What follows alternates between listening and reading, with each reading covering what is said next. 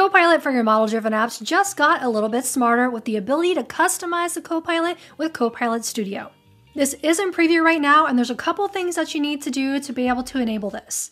First, in the environment that you want to try this out in, go over to your environment settings and go to features.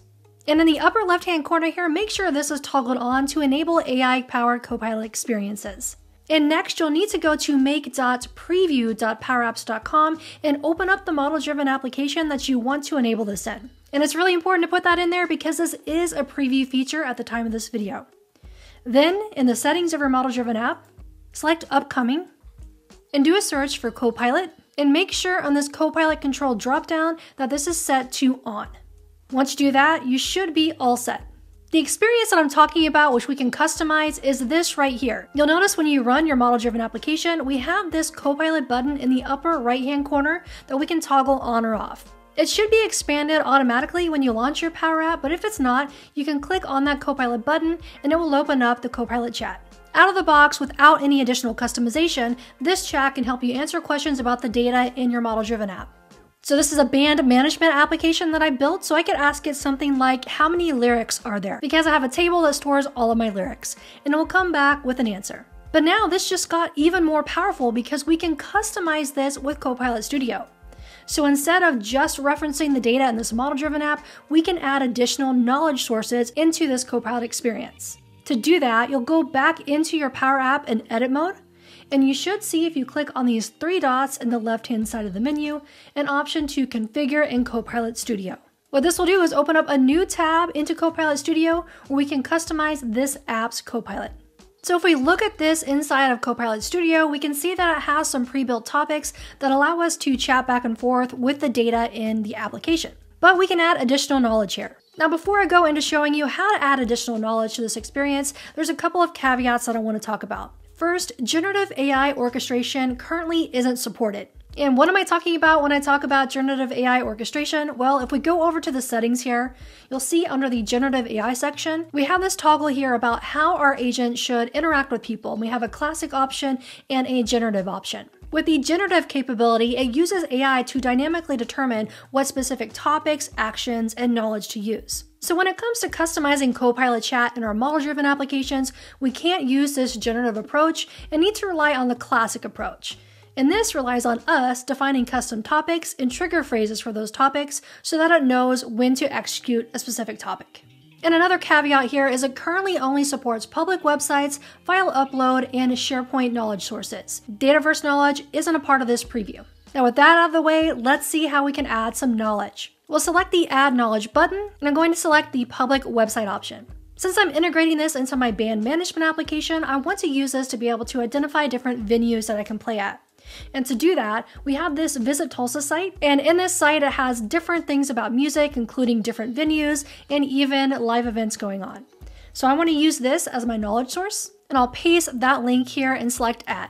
I'm going to tweak the description here just to make it more descriptive, and we'll select Add. So with this additional knowledge here, I could publish this and go back to my model-driven app and give it a test. But there's another thing we can customize before we publish this, and that's this prompt suggestion menu. If we go back to our model-driven app, we can see that it has these suggestions of things we can ask like what are my table names, who is assigned to a specific record, and things like that related to the data in my app.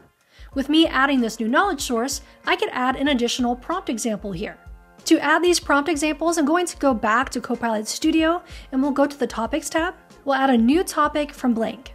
Now in the Learn documentation, which I'll put a link to in the video, there's a good example of how you can customize this, and there's a bit of code that you can copy and paste, which is what I've done here. To copy and paste that code, click on this More button, and go to Code Editor. We'll just replace everything that's there and I'm going to copy in this code that I have. This is defining the topic and the thing that you'll want to change if you're customizing this to your scenario is down here.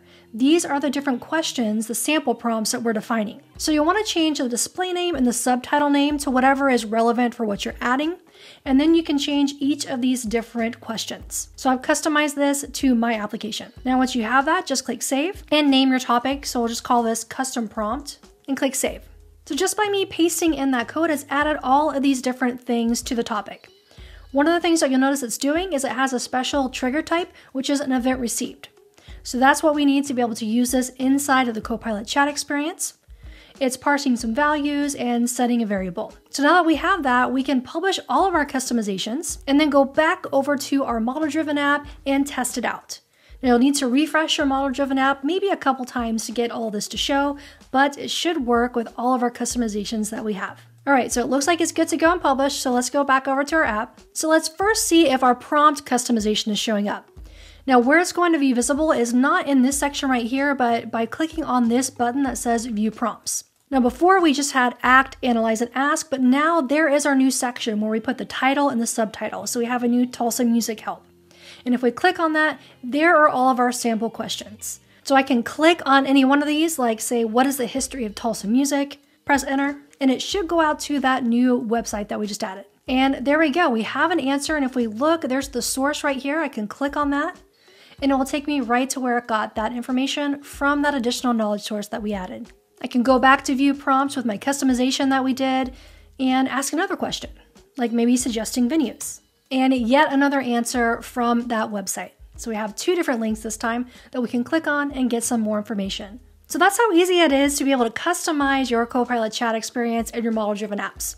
I've shown you how you can have your own custom helper starter prompts. We've seen how to add additional knowledge sources. We only added one, but we can add multiple knowledge sources to this. And I've shown you how to customize a prompt guide with your own questions. There's even more we can do here besides adding additional knowledge sources. We can define more custom topics, to do things like call a Power Automate flow to perform different workflows and actions, and even customize the output of the chat with adaptive cards. So if you're interested in learning more about any of those topics, drop a note in the comments and let me know, and I can do some follow up videos. If you try this out, let me know what you think. I'd love to know what you hear about it and what your use cases are. Thanks so much for watching, and I'll see you in the next video.